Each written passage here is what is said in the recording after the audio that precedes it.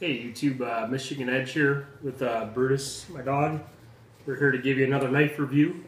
The review is on the uh, the Bear Grylls Gerber Ultimate Fixed Blade Knife.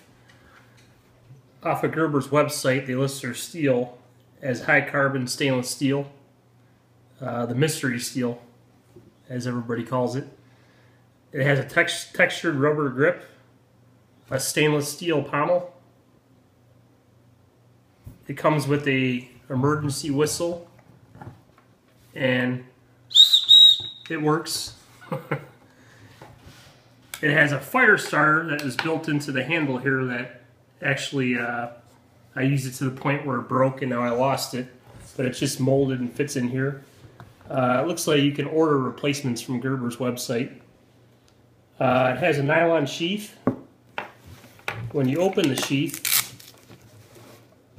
you have a knife sharpener, diamond sharpener. On the back side here, you have land, land to air rescue instructions. It also came with Bear Grylls Priorities of Survival Pocket Guide, which I threw in the garbage. Uh, the blade is four and three quarters. The handle is five and one quarters, 10 inches overall. Got a little spot right here built into the knife for your fire starter. It works really good at starting or starting fires. I uh, I used it and tested it and uh, it worked good. Throws a good spark. You got two holes here which you could use to fasten the knife as a spear uh, in case you ever needed to or wanted to. Okay, my personal thoughts on the knife. Uh, the reason why I bought this knife, I don't really like Gerber personally. They do make nice knives, but their steel to me seems like it's uh, not the greatest. And I'm not a huge fan of Bear Grylls, so I didn't buy the knife because of Bear Grylls. But I just, I like the looks of the knife. I like the thickness of the knife, and I love the, the, the drop point blade. A lot of cutting edge.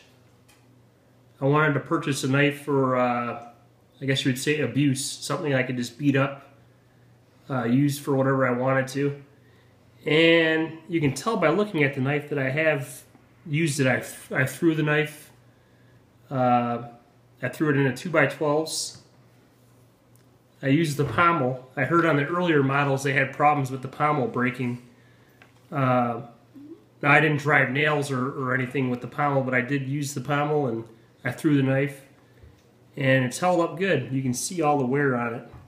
I actually uh, took this knife hunting with me and I used it to chop a tree down that was in the middle of a road.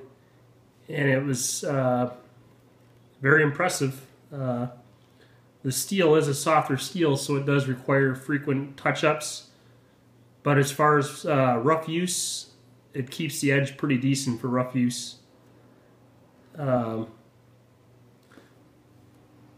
the knife sells for roughly anywhere from 45 to $60. And it also comes with a part serrated option uh, in my opinion, uh, I'm very impressed with the knife. I think it's a good knife for the uh, the price, and it's proven itself to me to uh, withstand the uh, test of abuse. Gerber Bear Grylls Ultimate Fixed Blade Knife.